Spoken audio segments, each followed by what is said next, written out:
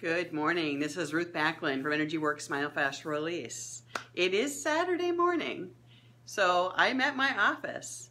And my question to you is, which one are you? Are you a do as I say or do as I do? Okay? I'm a do as I do. So I'm a registered nurse, and I can tell you when I first started my nursing career, I worked on a cardiac floor um, at St. Mary's in Rochester, so at the Mayo Clinic and also at Abbott Northwestern Hospital. And, you know, as nurses, as dietitians, as surgeons, as um, physicians, they all tell you what you should do to be healthy, but they don't always follow their own advice. Okay?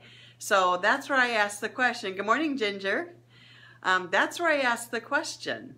Are you a do as I say or a do as I do?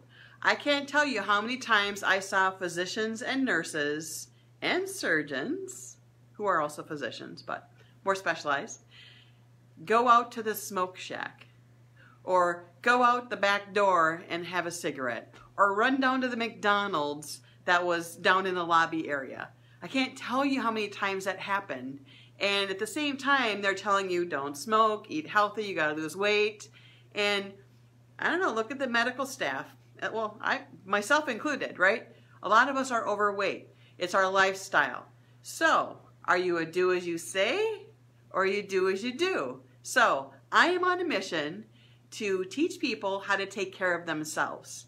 And I am working on that myself as well. So this morning, I am at my office for three hours.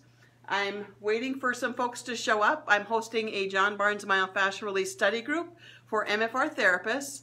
And that's something I do just about every month. I take a little break here and there, but it's all about us practicing on each other, honing in our techniques, and getting some treatment as well. So if you're a therapist and you don't know how to self-treat, I want you to tag yourself in this post, say stretch, and I'll put you in a private Facebook group that I have just for therapists so that you can start working on yourself okay? Super, super important. And I practice what I preach.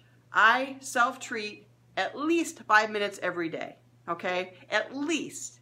And that self-treat might be I'm working out. It might be I'm using one of my stretching balls. I might be on a foam roller. I might be using a cranial cradle. I might be using my foam roll for other purposes.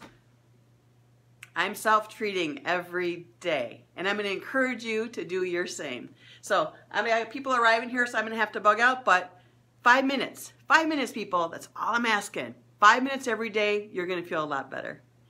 Have a good day, Ginger.